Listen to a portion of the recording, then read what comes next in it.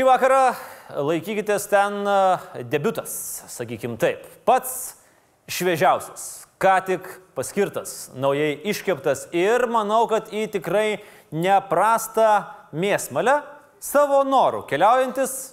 Panas ir ponai, plojimais pasitikime, naujasis Lietuvos Respublikos kultūros ministras Mindaugas Kvietkauskas.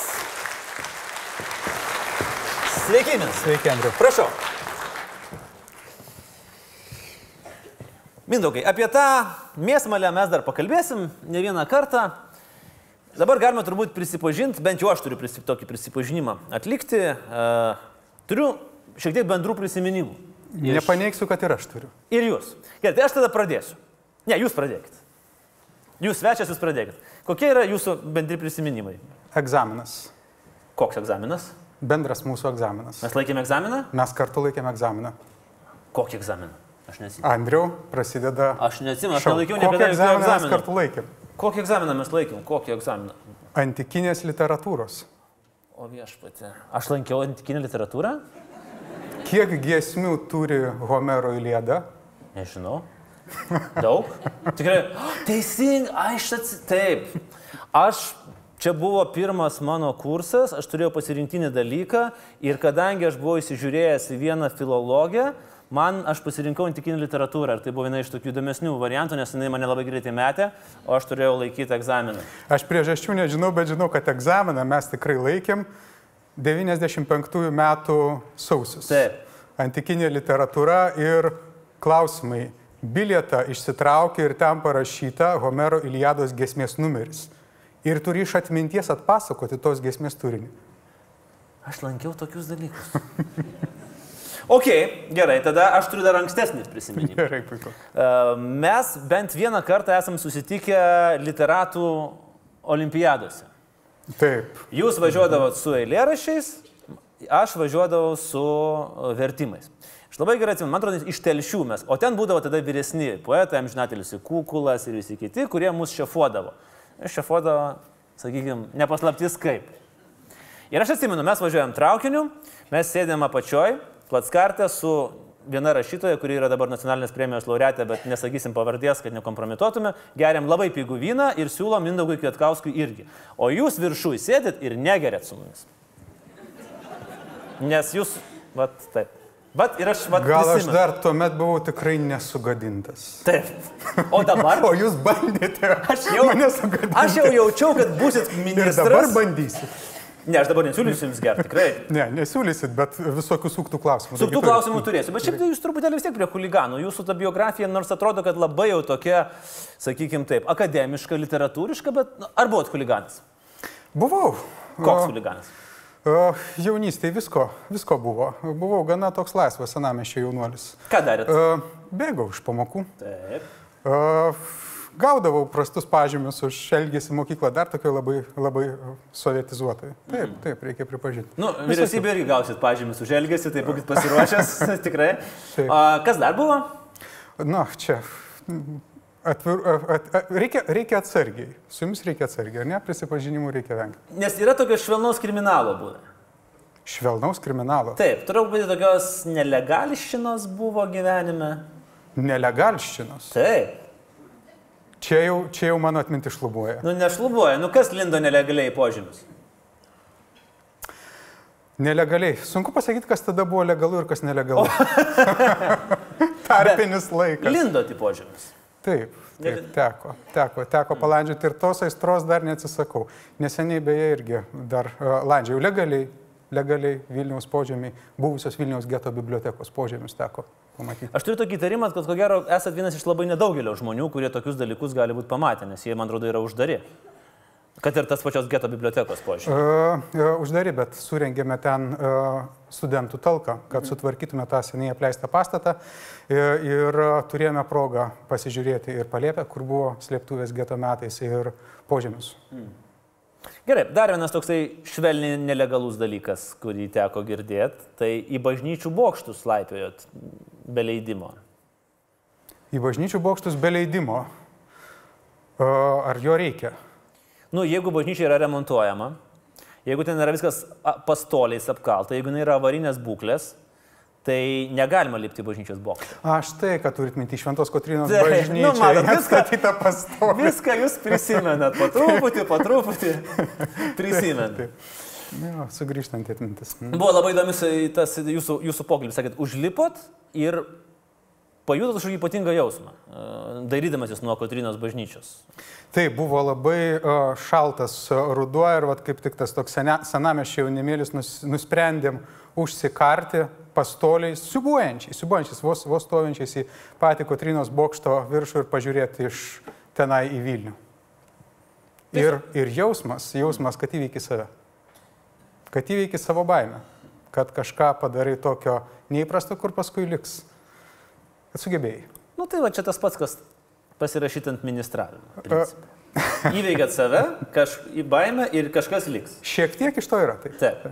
Dar truputėlį iki, iki perinant prie politikos. Mm, labai įdomus momentas, jūs studijavote uh, judaiką Oksforde, hebrajų centre, jūs verčiate iš jidiš kalbos.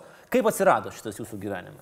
Vat būtent uh, žydų kultūra ir, ir kalba, kuri yra, aš kaip suprantu, vėlgi patikslinkit, uh, jidiš yra gerokai senoji kalba, ar ne? Ta, kuri buvo Vilniaus gete, turguose, o hebrajų kalba yra visai kita.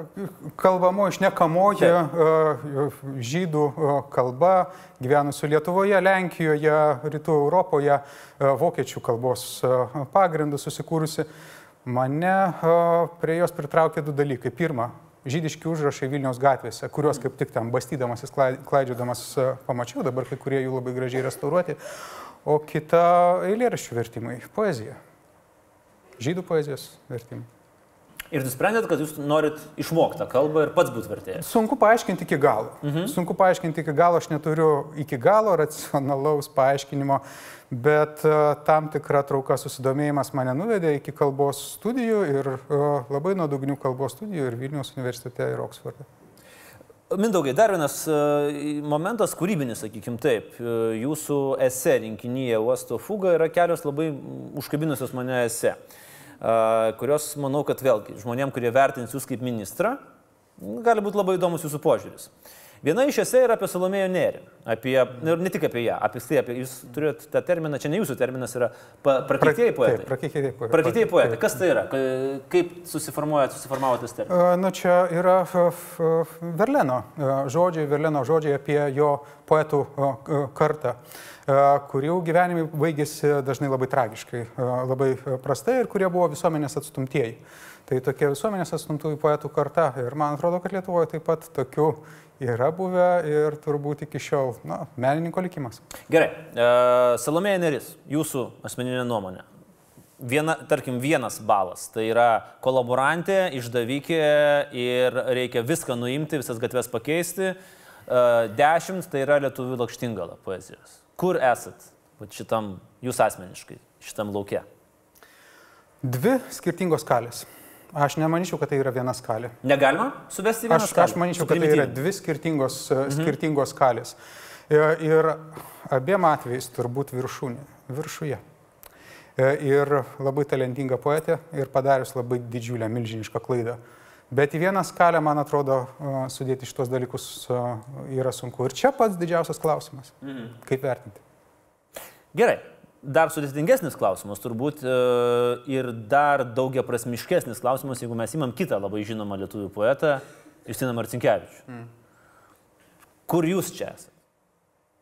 O, o kokiu klausimu, klausiant, kokiu, kokiu klausimu Justinas Marcinkievičius atidaro sąjūdžio suvažiavimą. Ne vienas Taip. pirmųjų sąjūdžio, sąjūdžio žmonių. Nepriklausomybės pradžioje jis yra centre, jis yra visiškas tautos autoritetas, o kas pasidaro paskui, ar ne? E, Kokie kaltinimai, kokie į- į- įtarimai. Tai va tos nuomonės irgi mūsų pačių visuomenės yra buvusios labai nepastovios, jau nepriklausomai Lietuvoje. Ar šitas jūsų nuomonė nuodija mūsų inteligentijos gyvenimą? Tai yra, kad mes negalim, nenorim, nemokam atleisti arba pamiršti prievartinio sovietmečio. Tarp mūsų aukščiausių, sakykime, žmonių, aukščiausių kuriejų. E, Galbūt šiek tiek, e, man atrodo, tai yra laiko klausimas. Aš vis dėlto manau, kad tai yra laiko klausimas. Labai daug skaudulių reikia juos visus apkalbėti, ap, aptarti, e, išsikalbėti tiesiog.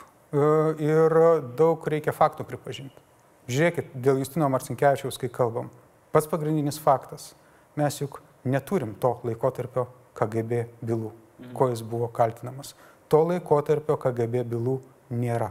Jos yra dingusios. Ir atsakymų iki šiol pasakyti tiksliai, kas atsitiko tuo metu su pušimi, kuri juokėsi, kas ten buvo, mes negalime. Mes turime atsiminimus, mes turime prielaidas, mes turime įvairius pasakojimus. Tai čia yra didelis klausimas. Tai jūs norite pasakyti, kad mes ko gero liksim ilgą laiką tokioje pilkoje zonoje, kol galbūt pasikeis apskritai karta ir tas sovietmetis nueis į tokias jau gūdumas. Galima taip sakyti? Iš dalies gali būti e, ir, ir taip, bet e, gali būti ir taip, kad jauni žmonės e, labai stengiasi atrasti vis dėlto tiesą apie praeitį. Ir gal kartais paaiškės ir tuo, tie atsakymai, kurių mes šiandien nežinom. Dar vienas, e, Mindaugai, jūsų esi, aš įskaičiau ir jaučiau, kaip Kvietkauskui skauda dėl šito dalyko. Nu, bet jau taip labai skauda. Spėkit, koks? Iš uosto fugos?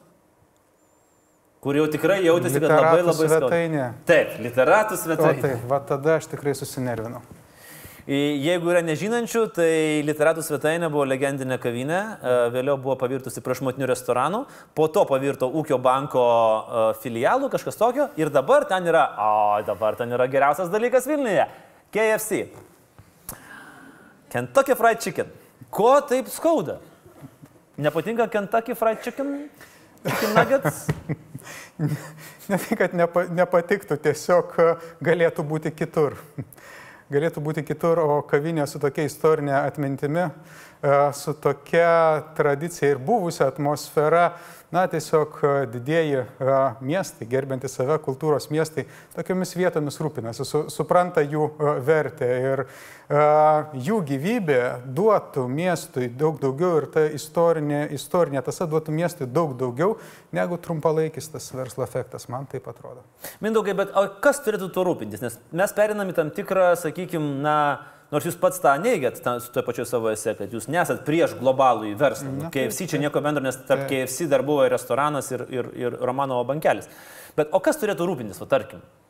Čia miestas turėtų rūpintis. Ar vis dėlto verslas kažkoks turėtų būti patriotiškas verslas, kuris sakytų, va, ten sėdėjo širvys, tai įamžinkim jo atminimą, kad ten būtų padėta atversta jo eilėraščių knyga ir žmonės galėtų prisėsti išgerti jo sveikatą raudono vyno. Čia, aišku, yra skirtingi atvejai. Yra e, vietos, kurios priklauso e, savivaldybei, kurios, kurios priklauso valstybei, bet ten, kur yra e, verslas, o tai jau buvo verslo nuosavybė, tikrai čia tiesiog trūksta supratimo, man atrodo. Trūksta sumanesnio verslo, sumanesnio verslo modelio. Ir tos jungties tarp verslo ir kultūros. Bet jūs manot, kad Širvio arba kokio nors bet kurio kito literatų lankytojų svetainės įprasminimas jam pritrauktų daugiau klientų negu super skanus KFC chicken nuggetsai su nuolaida? Aš manau, kad, manau, kad tikrai pritrauktų, jeigu mokėtumėm visą tai patraukliai įdomiai pasakoti, patraukliai įdomiai e, pateikti. Na, pasižiūrėkite Paryžiaus e, tos e, literatų kavinės, ar ne, kurios turi savo istoriją, jos traukia žmonės iš viso pasaulio. Hmm. Tai miesto pasididžiavimas. Patraukliai pateikti kultūrinį paveldą. Ar tai gali būti vienas iš jūsų kaip kultūros ministro iššūkių? Uh, na, žiūrint, kur sukate.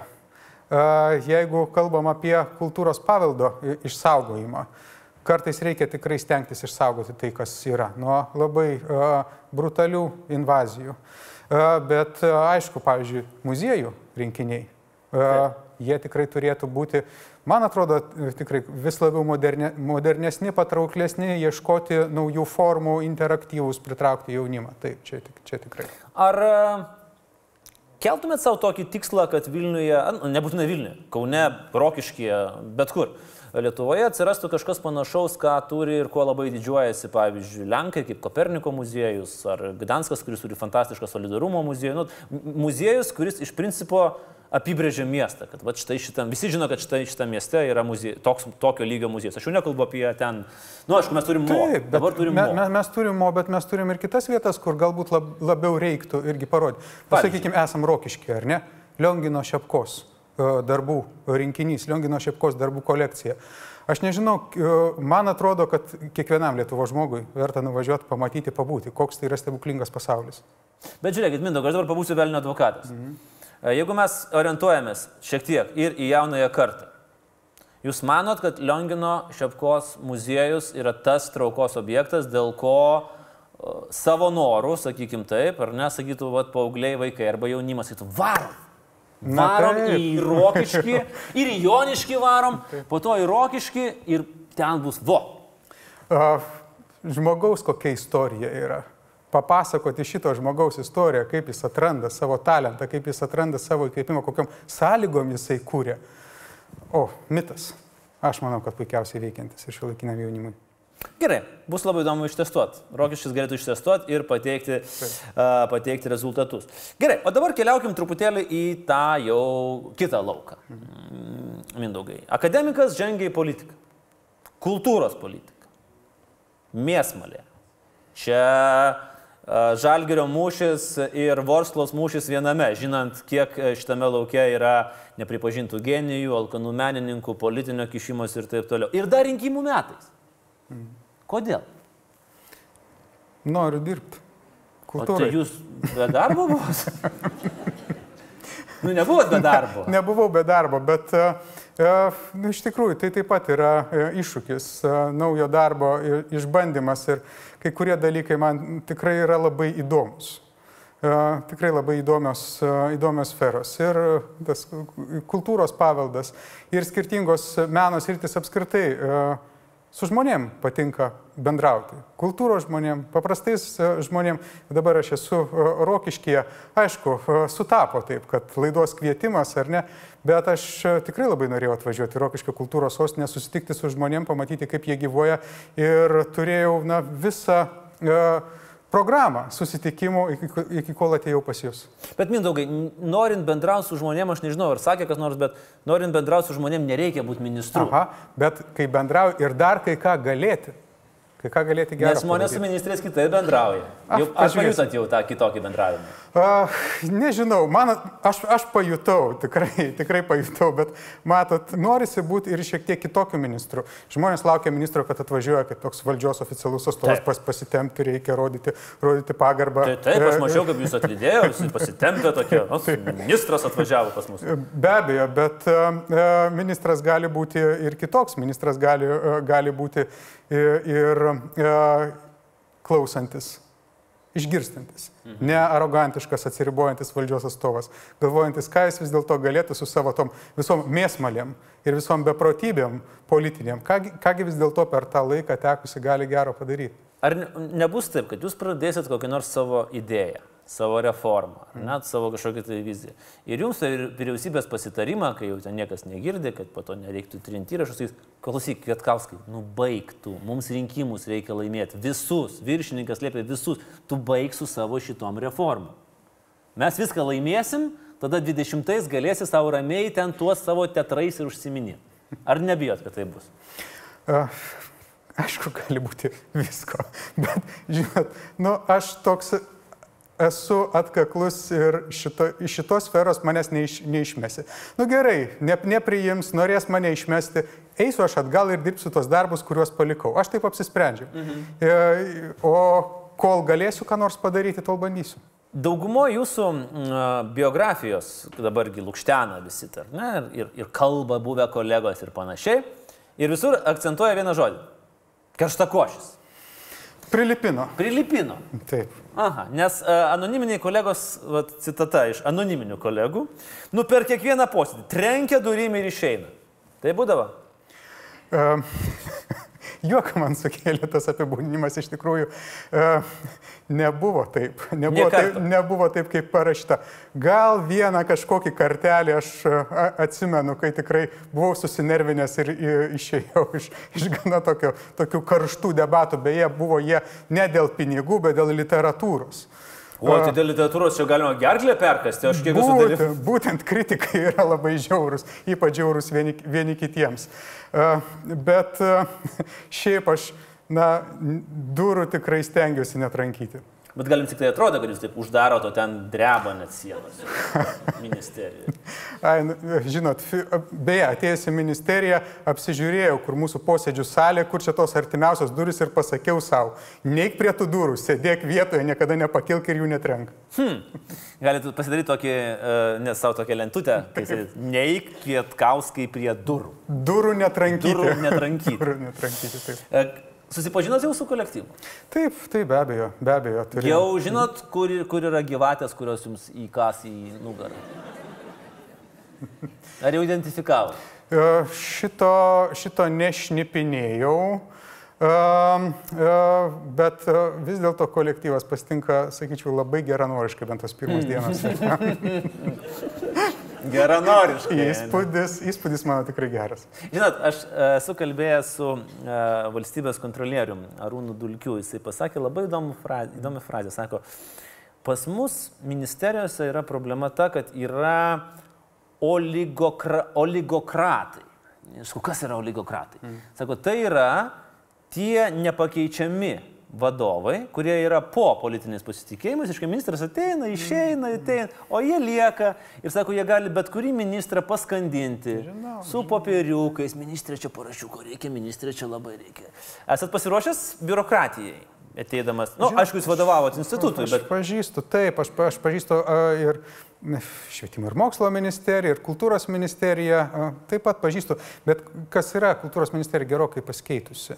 Ji buvo gerokai atnaujinta, padaryta, padaryta reforma ir, na, vat tokios užsilikusios tradicijos kažkokios, su kuria ten reiktų staiga kovoti, na, čia mano laimė. Man atrodo, kad jos tenai a, mažiau. turit tris konkrečius darbus, kuriuos turit nuveikti iki vasaros. Na, vat mes turim pakankamai vidutinišką tokį laiko tarpą iki vasaros, vadinasi, saliginai dar mm, praeis tie rinkiminiai dalykai, bet turit. Vat birželio pirmąją dieną. Nu, okei, okay, šitos turiu būti padaręs. Uh, tikrai kultūros, kultūros strategija, kultūros strategija 2030. Uh, Perdaryt, kaip suprantu. na, Nelabai jums patiko. pabaigti. Kritiškai žvelgiu. Gedimino kalno būklė, nežinau ką.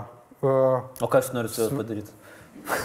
sustiprinti, prie- sustiprinti kiek, kiek įmanoma. nuversti atėjęs Ka- ruošiuosi. ka- ka- Neversti, neversti. Sustiprinsit kalną. Neversti, neversti statyti, bet iš tikrųjų pirmi, pirmi susitikimai, pirmi darbai e, yra, e, yra dėl to, e, kas dar. Pagalvosiu dar dėl trečio. Ai, tai dar net tu, tu du, du darbelius. Ne, jų tiek, tiek daug, kad... kad Bet pasakykit, ar tai nėra šiek toks, toks truputį, na, iron, ironiškas daiktas? Kultūros ministras turi laikyti kalną, kad nenugriūtų. Numato, taip. Aš sakau, labai įdomi situacija. Taip, kultūros ministras užsima geologiją ir kovoja su gamtos galiomis. Įdomus. E, Jūs e, sakėt, vėlgi citata iš jūsų vieno pokalbio, neskirstysiu kultūros tarp aukštosios ir naisių. Kas yra naisių kultūra? Nu, Jūs man pasakykite. Aš nežinau, čia jūsų citata. Man žurnalistai klausė, sako, naisių kultūra, Aha. sako, ar, ar vykdysite naisių kultūros programą? Ką jūs Na, sakėt? aš nežinau tokios naisių kultūros programos. Na, aš žinau se, se, se, serialą Naisių vasarą ir jo, ir jo na, programą, bet uh, man jūs žiūrėjot serialą Naisių vasarą? Vieną kitą, vieną kitą seriją. Kiek serijų uh, žiūrėjot? Žinokit, tikrai, tikrai nepasakysiu pijų, žinau. Nu, meras busimasis galbūt. Taip. O apskritai, sk- jūsų požiūris į prieš priešą, kuri tam tikra e, prasme yra brėžiama tarp aukštosios, nu vadinamosios aukštosios ir populiariosios kultūros. Mm, jinai yra neišvengiama, E, ar tai būtų literatūra, ar tai būtų kinas, ar tai būtų teatras, ar gali sugyventi šitos dvi Gali. dvi dalys? Be, Kaip? be abejonės gali, tai tų pavyzdžių tikrai yra daug. Na, vienas, vienas iš pavyzdžių, man atrodo, Andriau, tavo paties kūryba. Tavo paties romanai, man atrodo, kad ten kaip tik susijungia ir erudicija, ir detektyvinė intriga.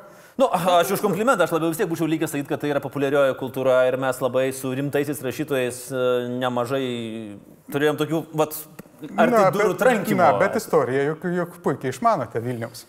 Alternatyvą, kur tu pats gali, Gerai, su, pats gali sukurti. Beje, dėl Gedimino kalno e, situacijos, jūsų pranašystė, kad ten bus orlaivių navigacijos bokštas, mes galim šitą pranašystę atsiminti, kaip jis sako, griustas kalnas, griustas kalnas. Aš sakau, Andrius Tapinas juk išpranašavo. Stovės kontrolės bokštas. Stovės orlaivių kontrolės bokštas. Taip, ir va bus turistams atrakcija. Užlipi ir dar nežinai, ar nusileis. Uh, jeigu mes kalbam dabar, užsiminėm truputėlį apie kultūros sostinę.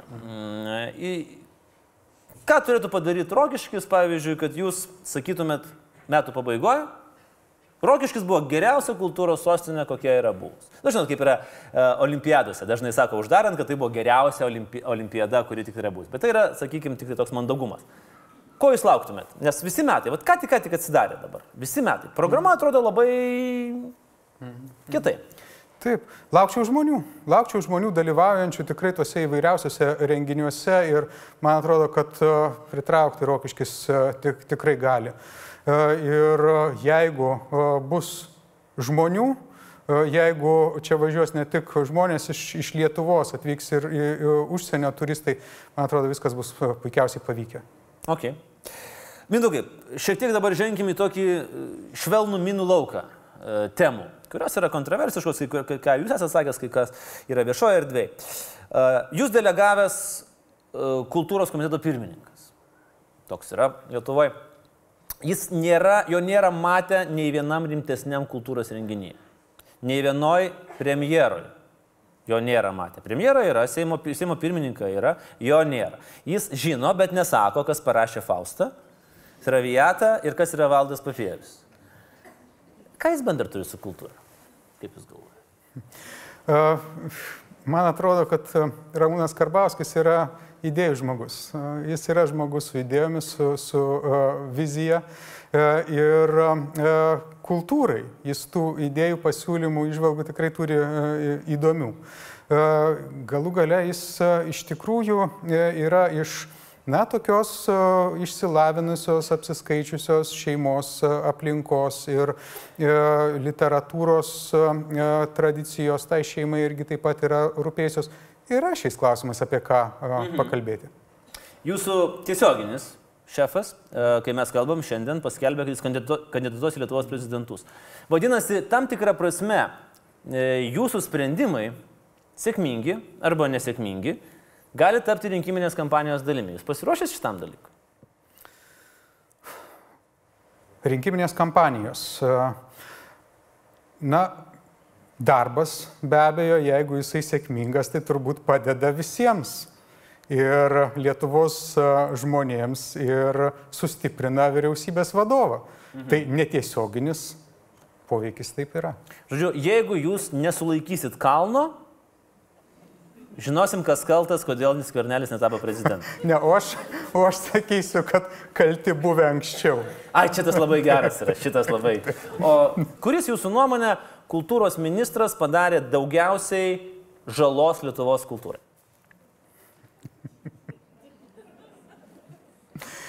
Ne, aš čia taip ne, nebadysiu pirštais. Aš savo, Šarūnas Birutis, aš taip? savo va- variantus turiu tiek to, tiek to, nebirutis. Ne, O ne, kas? nežaiskim šitų žaidimų. Gerai. Bet tada kitas klausimas, e, kuris e, vėlgi dabar leido porą kartų taip jau išsisuk nuo atsakymo. Marius Ivaškevičius.